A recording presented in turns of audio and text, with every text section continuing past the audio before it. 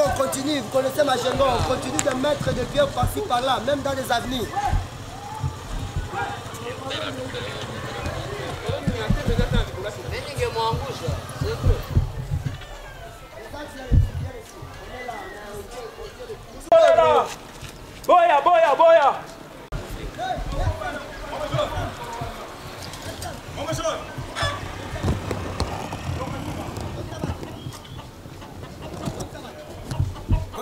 Comenta tempo, comenta tempo.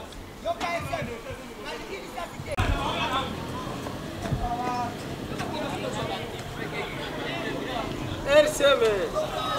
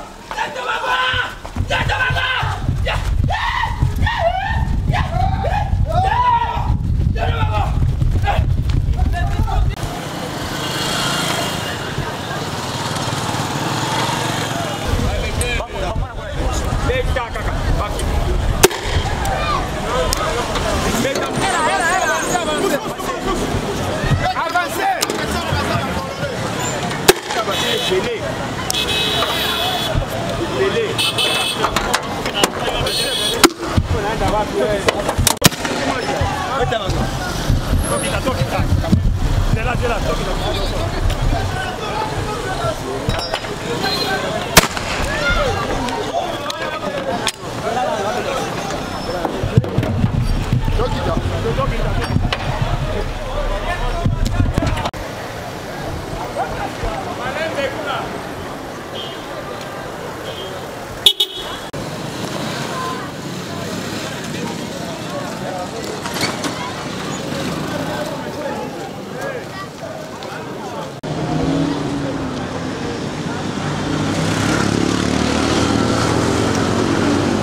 Vous venez de faire la ronde de la ville, notamment dans les quartiers Katoy, on a signalé certains jeunes avec des manifestants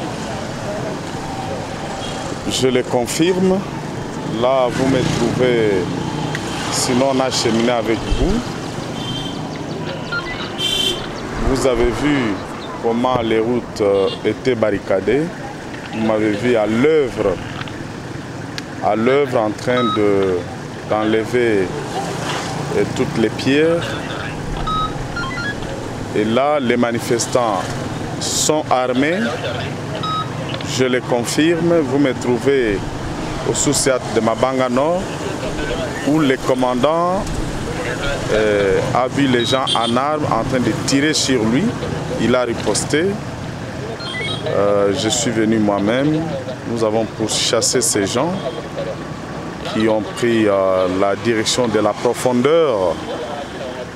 Bah, comme ce sont des gens qui se cachent, ils sont en civil bien sûr, mais euh, vêtus quelque peu en musulman. hein. Ils, couvrent leur, euh, euh, leur nez, leur tête. Une vingtaine, une trentaine de personnes en armes blanches et en armes à feu. Euh, voilà, c'est ça la situation. Nous ne les avions pas euh, retrouvés jusque-là. Sinon, la recherche se poursuit.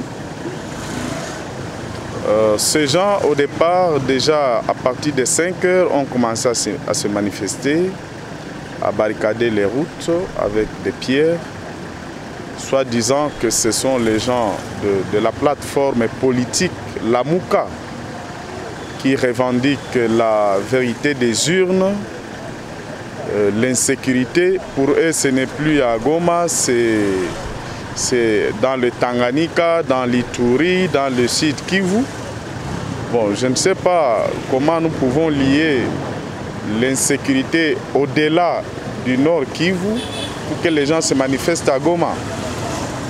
Je pense que euh, le politique euh, fera son travail.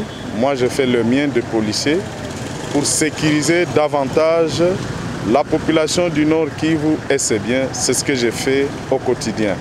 Alors,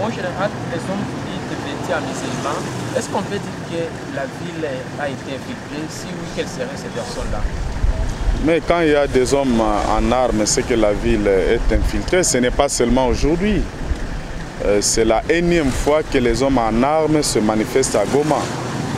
Euh, nous sommes à pied d'œuvre pour découvrir, parce que là, les informations à ma possession font état de deux armes vues. Les armes AK vues euh, par le commandant, là où vous me trouvez sur place, mais aussi par la population qui témoigne. La population de Goma, du côté Mabanga Nord, a vu des hommes en civil et en armes vêtus euh, quelque peu avec des charpes comme euh, ceux des musulmans et des gris-gris. Voilà la situation que nous avons. Alors on a témoigné le professionnalisme aujourd'hui de la police, mais nous apprenons qu'il semblerait qu'il y a un policier euh, qui a perdu la vie. Est-ce qu'on peut savoir sur la décision? Pour le policier décédé, euh, son décès n'est pas lié aux manifestations d'aujourd'hui. Il est mort la nuit par extrangulation.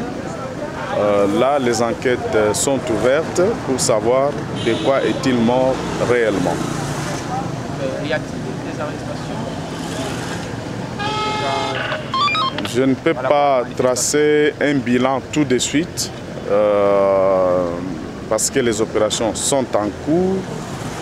Les manifestants, nous les avons pourchassés jusque dans la profondeur. Nous continuons à les rechercher. Euh, nous avons quelques informations que je ne peux pas livrer maintenant, mais nous continuons à les pourchasser. C'est moi qui vous remercie, monsieur le journaliste. Merci.